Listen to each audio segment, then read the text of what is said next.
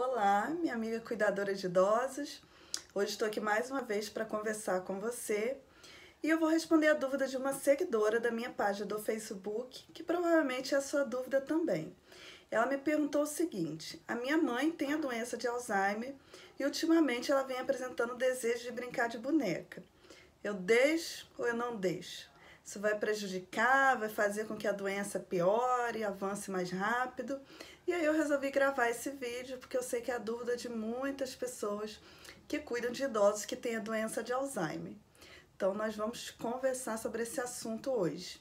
Bom, primeira coisa que você precisa saber, quando nós falamos de idosos em geral, idosos saudáveis, que não têm nenhuma demência, nós orientamos os cuidadores a não tratar os idosos como crianças, ou seja, a não infantilizar o idoso. Por quê? O idoso é um adulto, uma pessoa com uma idade mais avançada, apenas. Mas quando a gente fala de idosos que têm alguma demência, e aí especificamente falando do idoso que tem a doença de Alzheimer, é importante que a gente saiba que a situação é completamente diferente. Por quê? Nesse caso específico, o idoso com o tempo ele vai perdendo a memória recente ele vai se conectando mais com o seu passado. Então vai chegar determinado momento que ele não vai se reconhecer mais como idoso, ele vai se olhar no espelho e não vai se reconhecer e vai imaginar aí que ele está na fase da adolescência ou na fase da infância. Então, nesses momentos, pode ser que ele demonstre assim, um desejo de brincar e não vai ter problema nenhum. No caso das mulheres, ainda existe um outro fator. É a questão de brincar, estar ali cuidando de uma boneca, imaginando que é uma criança, pode fazer com que ela se sinta inclusive mais útil, vai melhorar a autoestima dessa idosa. A questão é, você precisa observar se esse idoso ou se essa idosa realmente está querendo brincar. Aí você pode deixar os brinquedos ali expostos pela casa, uma boneca, um carrinho. Se você perceber que ela está querendo pegar para brincar, você pode oferecer sem problema nenhum.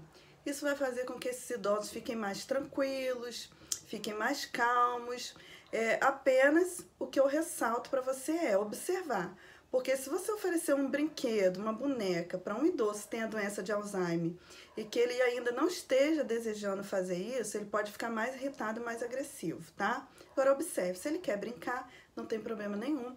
Pode deixar, isso vai ser super saudável, isso vai ser bom para ele, ele vai ficar mais tranquilo, mais em paz e pode ser inclusive um momento de convivência desse idoso com as crianças da sua família. E isso vai ser maravilhoso, tanto para as crianças quanto para esse idoso, para essa idosa, tá certo? Então essa foi a dica de hoje. Quero te convidar a se inscrever no meu canal do YouTube, ativar também as notificações e curtir a minha página do Facebook também, deixar os seus comentários, os seus depoimentos. É muito importante para mim ouvir você, que é cuidadora, que é cuidador de idosos, tá certo? Forte abraço para você então e até o próximo vídeo.